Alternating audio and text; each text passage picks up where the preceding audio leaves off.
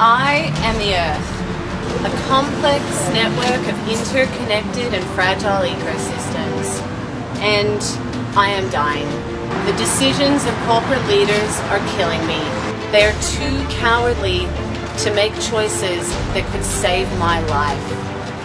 Oh, here's one of them now. Hi there, Earth. I'm Joe Kaeser, CEO of Siemens. Mr. Kaeser, why would you choose support a dirty mega coal mine that could kill me?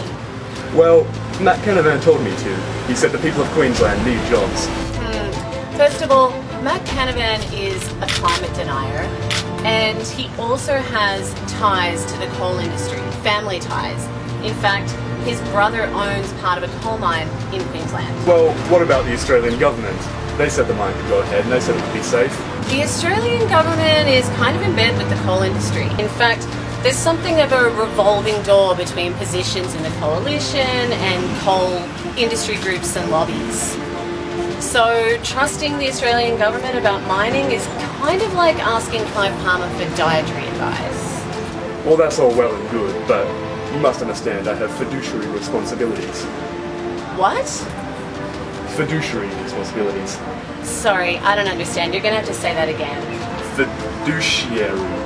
Money. Mm, okay, I get it. You would work with a mega dirty coal mine at a time of global climate catastrophe for your fiduciary responsibilities? Well, I am the CEO.